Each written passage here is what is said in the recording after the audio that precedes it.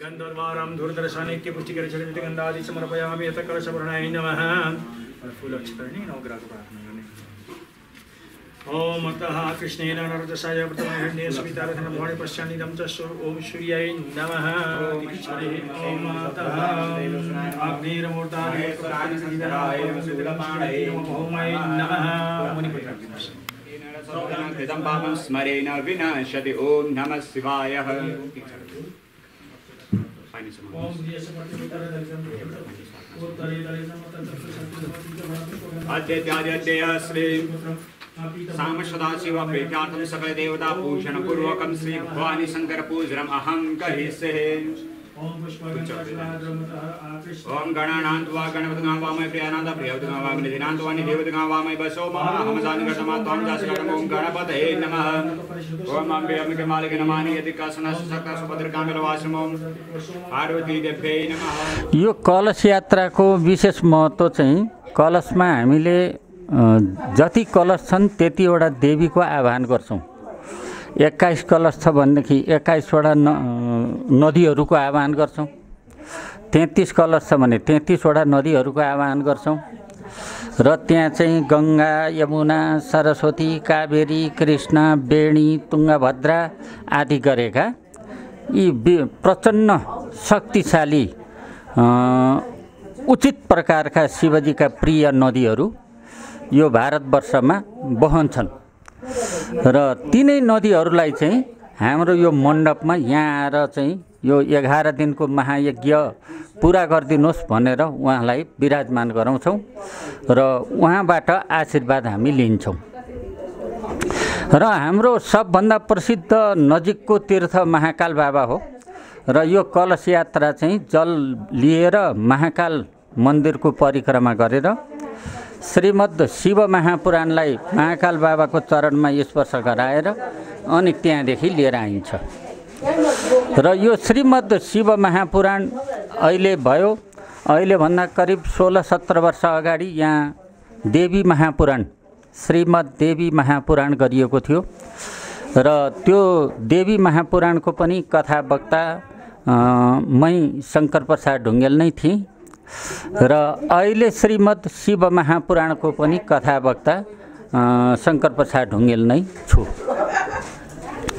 र त्यतिखेर पनि यस मन्दिरको माताजी कुमारी सिन्चोरीजीले नै आयोजना गर्नुभएको थियो।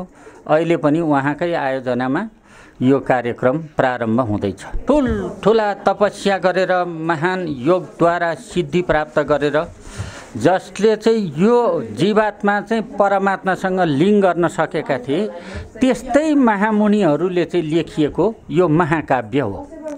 र यो चाहिँ कहिल्यै पनि पुरानो हुँदैन। सधैँ यो नौतनै हुन्छ सधैँ नौतनै हुन्छ यो। अझै हजार वर्ष पछाडि गायो भने पनि यो नौतन नै कहिन्छ। र यो चाहिँ महावाणी हो। यो महावाणी श्रवण गर्दाखेरि हाम्रो सबैको बुद्धि चाहिँ सद्बुद्धि हुन्छ। कुबुद्धि हटेर जान्छ सद्बुद्धिमा प्रवेश हुन्छ र पक्का मानव भन्ने मान्छे बनिन्छ। मानव बन्न बडा साह्रो छ हेर्नुहोस्। त्यसै जन्मिने बित्तिकै मानव हुँदैन कर्मद्वारा नै मानव हुन्छ र यो सत्कर्मको बाटोमा हिँडियो भने महामानव हुन्छ कुकर्मको बाटोतिर लाग्यो भने कुमानव हुन्छ र हामी कुमानव हुनु छैन महामानव नै बन्नु छ। त्यस कारणले यो सद्वाणी सुन्नु सत्मार्गमा लाग्नु। यसको महान उद्देश्य नै त्यही हो।